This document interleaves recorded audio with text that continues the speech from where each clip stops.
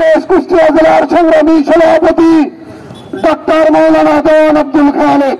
বক্তব্য রাখবেন ডাক্তার মৌলানা আব্দুল খালেক সাহেব।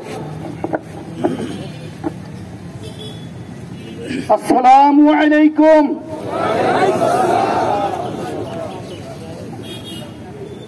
ভূমিকা না রেখেই আজকের এই উত্তাল বিক্ষোভ মিছিলে অল্প কিছু কথা রেখেই আমি শেষ করব। প্রিয় বন্ধুগণ, আজ তাম পৃথিবী উত্তাল হয়ে উঠেছে।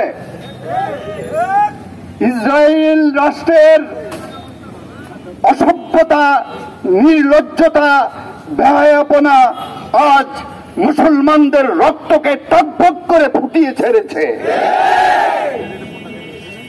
মুসলিম জনতা পৃথিবীর যেখানেই আছে, সেখান থেকেই আজ জাগ্রত হয়ে জেগে উঠেছে।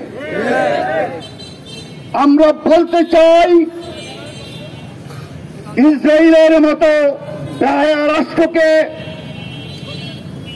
যুক্তরাষ্ট্রের মতো বেহায়া রাষ্ট্র, যেই উস- উস্কানি দিয়ে আজ ফিলিস্তিনের নারী শিশু সহ বেসামরিক জনগণের উপরে অত্যাচার, নিপীড়ন, অক্ষণ হত্যা চালিয়েছে, চালাচ্ছে, এটা কখনোই কোনো মানবীয়তাকে আর সামাল দিতে পারে না।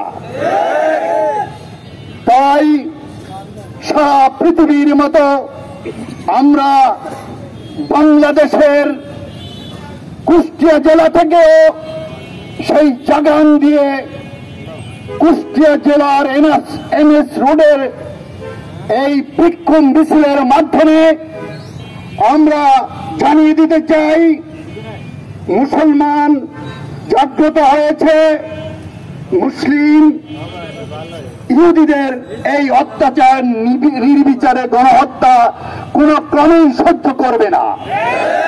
অতএব অবিলম্বে বিশ্বের মোড়ল রাষ্ট্রগুলোকে তাদের জন্য উপযুক্ত ভূমিকা নিতে অনুরোধ জানাচ্ছি।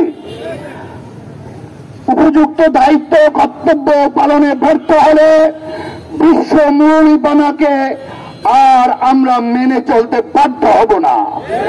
আমরা জেগে উঠব, আমরা ইয়াহুদি ও খ্রিস্টানদেরকে আমরা কোনো ক্রমেই মুসলমানদের রক্তের সাথে হুলি খেলা খেলতে দেব না।